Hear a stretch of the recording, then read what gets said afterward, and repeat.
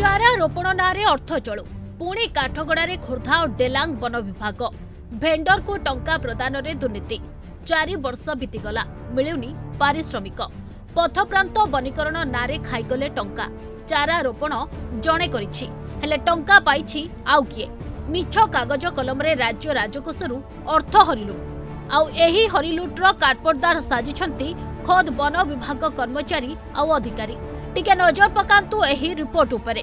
ଦୁଇ ହଜାର ଚଉଦ ପନ୍ଦର ଏବଂ ଦୁଇ ହଜାର ଷୋହଳ ସତର ମସିହାରେ ଡେଲାଙ୍ଗ ରେଞ୍ଜର ପକ୍ଷରୁ ଅନ୍ନପୂର୍ଣ୍ଣା ଏଣ୍ଟରପ୍ରାଇଜେସ୍ ଓ ଆଲୋକ କୁମାର ସ୍ୱାଇଁଙ୍କ ନାଁରେ ରହିଥିବା ଦୁଇଟି ଭେଣ୍ଡରକୁ ନଅଟି ରାସ୍ତାରେ ପଥ ପ୍ରାନ୍ତ ବନୀକରଣ ପାଇଁ ନିର୍ଦ୍ଦେଶ ଦିଆଯାଇଥିଲା। ଏହି ନଅଟି ରାସ୍ତାରେ ବନୀକରଣ ପାଇଁ ଏକ କୋଟି ଚବିଶ ଲକ୍ଷ ଅଠତିରିଶ ହଜାର ଟଙ୍କା ଏଷ୍ଟିମେଟ୍ କରାଯାଇଥିଲା।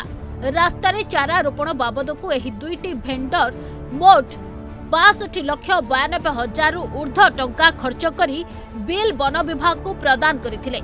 ବନ ବିଭାଗ ଏହି ଟଙ୍କାରୁ ସତର ଲକ୍ଷ ବାଷଠି ହଜାର ଟଙ୍କା ମିଛ କାଗଜ କଲମ କରି ଅନ୍ୟ ଭେଣ୍ଡର ଆକାଉଣ୍ଟକୁ ଟଙ୍କା ପଠାଇ ଚଳୁ କରିଥିବା ଅନ୍ନପୂର୍ଣ୍ଣା ଏଣ୍ଟରପ୍ରାଇଜେସ୍ ଓ ଆଲୋକ କୁମାର ସ୍ୱାଇଁ ଅଭିଯୋଗ ଆଣିଛନ୍ତି। କାମ ହେଇଛି ଆଠ ଲକ୍ଷ ଛଅଷଠି ହଜାର ସାତଶହ କୋଡ଼ିଏ। ମ୍ୟାଟେରିଆଲ ଲଗେଇଥିଲୁ ଚାରି ଲକ୍ଷ ତେପନ ହଜାର ପାଞ୍ଚଶହ ଉଁ, ଚଉରାଅଶୀ ଟଙ୍କା ଏବଂ ଲେବର କାମ କରିଥିଲେ ଚାରି ଲକ୍ଷ ଅ, ତେର ହଜାର ଶହେ ଛତିଶ ଟଙ୍କା।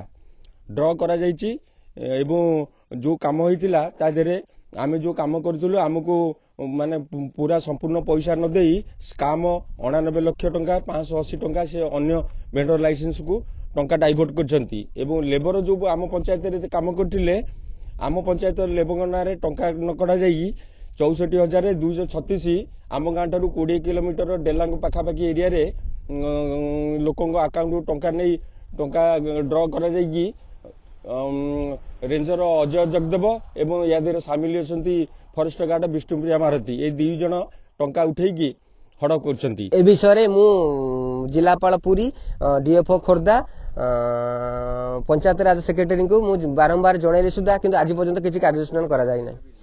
ମୋର ଦାବି ହେଉଛି ଯେ ମୁଁ ଲୋନ କରିକିରି ଏ କାର୍ଯ୍ୟକ୍ରମରେ ସବୁ ପଇସା ଖର୍ଚ୍ଚ କରିଥିଲି କିନ୍ତୁ ମୁଁ ବର୍ତ୍ତମାନ ଲୋନ ବୁଡ଼ିବା ଯୋଗୁଁ ମୁଁ ମାନେ ମେଣ୍ଟାଲି ହାରାସମେଣ୍ଟ ହେଲାଣି। ଆଉ ମୁଁ ଯଦି ମୁଁ ସରକାରଙ୍କ ଉପରେ ଅନୁରୋଧ କରୁଛି ଯେ ଇଏ ଏଇ ସ୍କାମ୍ ଯୋଉ ହେଇଛି ୟା ଉପରେ ତଦନ୍ତ କରି ଯଥାଶୀଘ୍ର ମୋର ପାଇବାକୁ ଥିବା ପ୍ରାପ୍ୟ ପ୍ରଦାନ କରାଯାଉ। ନହେଲେ ମୁଁ ଶେଷ ଅବସ୍ଥାରେ ଆତ୍ମହତ୍ୟା ହେବାକୁ ଦବାକୁ ଦେବି ଡେଲାଙ୍ଗ ରେଞ୍ଜ କାର୍ଯ୍ୟାଳୟର ତତ୍କାଳୀନ ଅଧିକାରୀ ଅଜୟ କୁମାର ଜଗଦେବ ଓ ତତ୍କାଳୀନ ଫରେଷ୍ଟ ଗାର୍ଡ ବିଷ୍ଣୁପ୍ରିୟା ମହାରଥୀ ସତର ଲକ୍ଷ ବାଷଠି ହଜାରରୁ ଉର୍ଦ୍ଧ୍ୱ ଟଙ୍କା କାର୍ଯ୍ୟ କରିନଥିବା ଭେଣ୍ଡରଙ୍କ ଆକାଉଣ୍ଟକୁ ପଠାଇ ଚଳୁ କରିଥିବା ଅଭିଯୋଗ ହୋଇଛି। ଏନେଇ ମୁଖ୍ୟମନ୍ତ୍ରୀ ପୁରୀ ଜିଲ୍ଲାପାଳ ଖୋର୍ଦ୍ଧା ଡିଏଫଓଙ୍କ ବିଭାଗୀୟ ଅଧିକାରୀଙ୍କ ନିକଟରେ ଅଭିଯୋଗ ହୋଇଥିଲେ ସୁଦ୍ଧା କୌଣସି ପଦକ୍ଷେପ ନିଆଯାଏ ନାହିଁ। ସେପଟେ ତୁରନ୍ତ ବକେୟା ନ ମିଳିଲେ ଆତ୍ମହତ୍ୟା କରିବାକୁ ଚେତାବନୀ ଦେଇଛନ୍ତି ଅନ୍ନପୂର୍ଣ୍ଣା ଏଣ୍ଟରପ୍ରାଇଜେସ୍ ଓ ଆଲୋକ କୁମାର ସ୍ୱାଇଁ। ଅନ୍ୟପଟେ ଡେଲାଙ୍ଗ ରେଞ୍ଜର କହିଛନ୍ତି ଅଭିଯୋଗ ହୋଇଛି ତଦନ୍ତ ଚାଲିଛି। ବ୍ରହ୍ମଗିରିରୁ ଡେଲାଙ୍ଗ ବ୍ରହ୍ମଗିରି ରୋଡ ଦୁଇ ପଟ ସାଇଡରେ ଆମେ ବର୍ତ୍ତମାନ ଯୋଉ ଗଛ ଲାଗୁଥିଲା ଆଉ ଏନର୍ଜି ସେ କାମ ସେଇଟା ଆଉ କାମ କଲୁ କିନ୍ତୁ ଚାରି ବର୍ଷ ହେଲା କାମ ହେଲାଣି ମୋ ପ୍ରାପ୍ୟ ମୁଁ ଏପର୍ଯ୍ୟନ୍ତ ମୋ ମଜୁରୀଟା ମୁଁ ପାଉନି। ଆଉ ଯିଏ କାମ ଆମର ଭେଣ୍ଡର କରିଥିଲେ ଅଶୋକ କୁମାର ପେଣ୍ଠଇ ଆଉ ଆଲୋକ କୁମାର ସ୍ୱାଇଁ ତାଙ୍କୁ ପଚାରେ ସିଏ କହୁଛନ୍ତି ଭାଇ ତ ଏମିତି ରେଞ୍ଜର ଅଫିସ ବାଲା ଏମିତି ଫର୍ଜାରୀ କରି ପଇସା ଖାଇଯାଇଛନ୍ତି ଆମ ତମେ କାମ କଲ କିନ୍ତୁ ତମ ପଇସା ଅଲଗା ପଞ୍ଚାୟତରେ ଉଠିକି ସେମାନେ ହଡପ କରିଦେଇଛନ୍ତି। ରାସ୍ତା ବନୀକରଣରେ ଲକ୍ଷ ଲକ୍ଷ ଟଙ୍କା ହରିଲୁଟ୍। ଖୋର୍ଦ୍ଧା ବନ ବିଭାଗ ଅଧିକାରୀ ଅର୍ଥାତ୍ ଡେଲାଙ୍ଗ ରେଞ୍ଜ ଅଧିକାରୀଙ୍କର ମିଲି ଭଗତରେ ଟଙ୍କା ହୋଇଛି ଚଳୁ। ଭେଣ୍ଡର କାମ କଲେ କିନ୍ତୁ ଅନ୍ୟ ଭେଣ୍ଡର ନାଁରେ ଟଙ୍କା ଗଲା। ପାଖାପାଖି ସତର ଲକ୍ଷ ଟଙ୍କାର ସଙ୍ଗୀନ ଅଭିଯୋଗ ଆସିଛି ଡେଲାଙ୍ଗ ରେଞ୍ଜ ଅଧିକାରୀଙ୍କ ବିରୁଦ୍ଧରେ। ତେବେ ଦେଖିବାକୁ ବାକି ରହିଲା ଏ ଦୁର୍ନୀତି ପଛରେ ସମ୍ପୃକ୍ତ ଥିବା ଅଧିକାରୀଙ୍କୁ କେବେ କରାଯାଉଛି କାର୍ଯ୍ୟାନୁଷ୍ଠାନ ଏବଂ ଯୋଉ ଟଙ୍କା ପାଇନଥିବା ହିତାଧିକାରୀ ବା ଭେଣ୍ଡର କେବେ ପାଉଛନ୍ତି ଟଙ୍କା?